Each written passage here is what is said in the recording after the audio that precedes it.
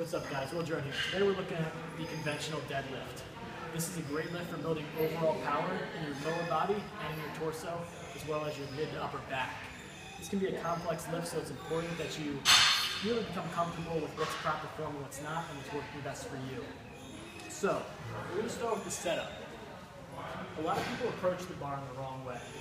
The proper setup for conventional deadlift is to have a relatively narrow foot placement just about shoulder width apart, grabbing either double overhand or the heavier weight, overhand, underhand. You want the bar to be right up against your shins. This is going to give you a better angle to pull, whereas if you're out here, it's going to pull you forward in the mid part of the lift. So starting here, this is what's important. Your hip angle should not be any deeper than this. Too many people sit too far back and try to pull through the legs.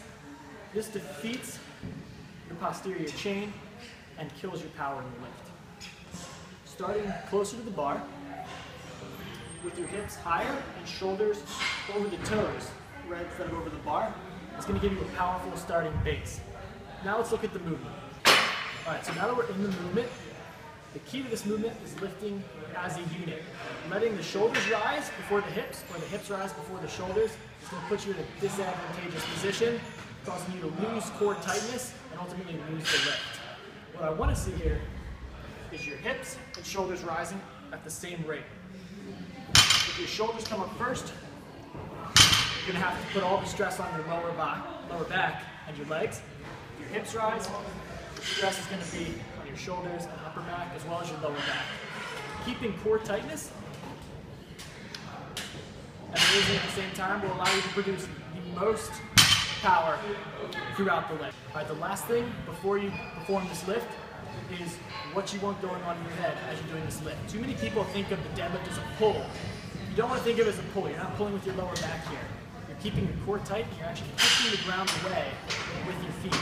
So when I'm here, as I start this movement, I'm driving the ground away from me and my upper back happens to rise.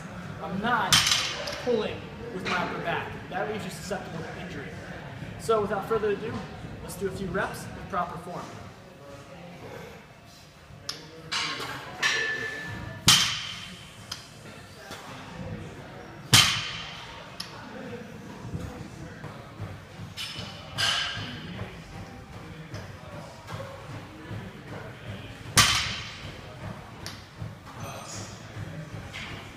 Go. I hope you guys enjoyed this tutorial. Um, leave a comment down below, tell me what you want to see next, um, whether it's a power movement, abs, anything. I'll give you a full tutorial on what works best for me, and hopefully what's going to work best for you. And uh, without further ado, this has been Will Girone. I'm out.